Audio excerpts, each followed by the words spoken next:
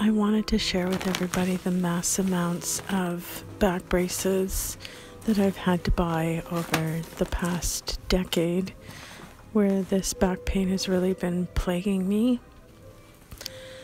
The orange one is one that I've worn pretty regularly, but these other ones that I'm about to pull out of this bag are ones that I have worn over the past 10 years and worn them right out almost.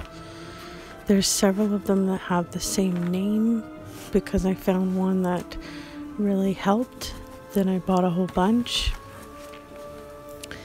Then they stretch out over time because of the materials and they're no longer as good as as when they were brand new. I wish they held their retention better, but that's why I'm forced to buy so many different new ones, plus trying all these different ones to see which one works best for my back and my pain.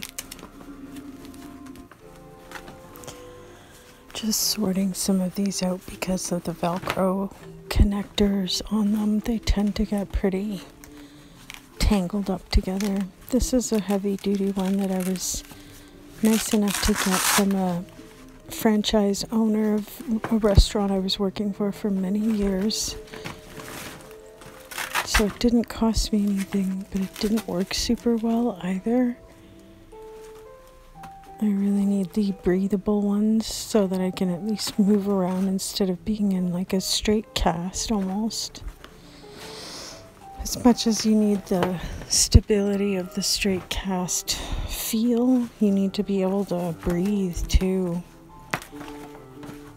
I really wish that I didn't have to deal with this back pain and I didn't have to keep buying all these different kinds of braces to see which one I could get some good use out of, but this is something that's been plaguing me for so many years now.